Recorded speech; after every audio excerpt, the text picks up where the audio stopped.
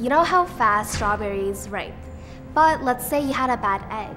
And what if you could use that egg to coat the strawberry that is washable and make it last a week longer?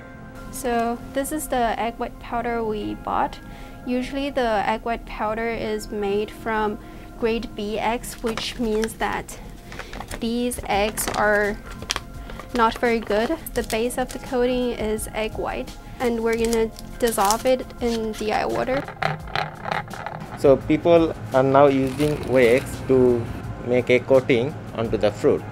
So if you, you, you, can see that in your home also. If you take apple in hot water, you'll find there is a very nice wax coating coming out with water.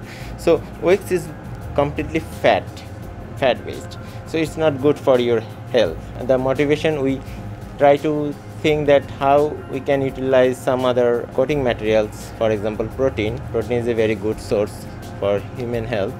So we took protein instead of wax and we try to make some comparable coating that is commercially available for eggs. So we usually just, just dip it for two to three times. We realized that it had good gas barrier properties and water barrier properties. So we were thinking how that uh, functionality could be a benefit. And I randomly happened to have a banana on hand because I always bring them for lunch.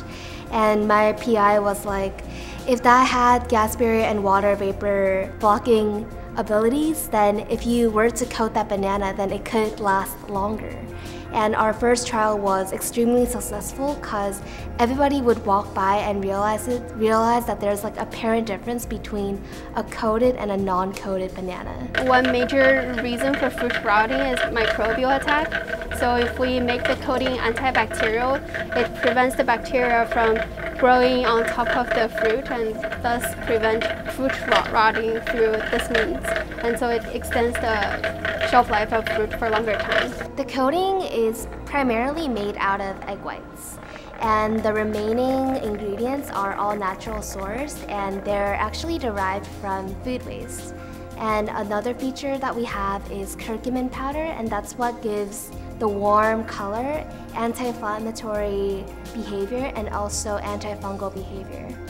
So it's a composite that provides multifunctions to preserve fruit in a natural way.